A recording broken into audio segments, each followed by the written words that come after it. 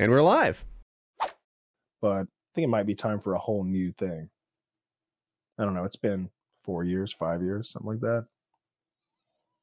That's that's lucky numbers, man. You got to keep a mattress for like 30 years and then try to sell it for what you bought it for. Who sells mattresses?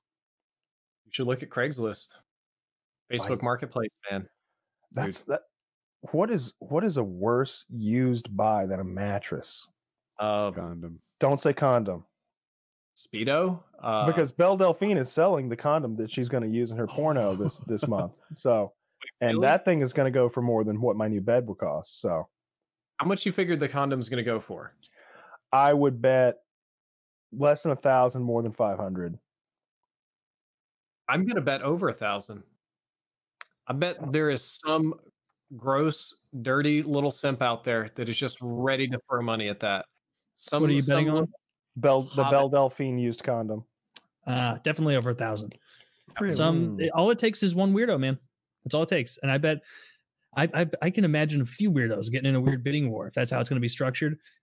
But You- the you- you- you- condom. market it to the cuckery crowd, and they're like, it's like cuckering by proxy. Oh, they're going to spend all their money on that. Maybe I misunderstand simping. Maybe I don't do it right. But I, I feel like the condom is a tribute to the dude. Like like I, wouldn't the underwear sell better? Like a, a Belle Delphine? Yeah, but the condom's been in. I'm sure it'll all be for sale. I, I hear you. I, d- I just don't see much value in the condom unless I'm a big fan of the guy. Hmm. Also, have you I mean, we're all adults.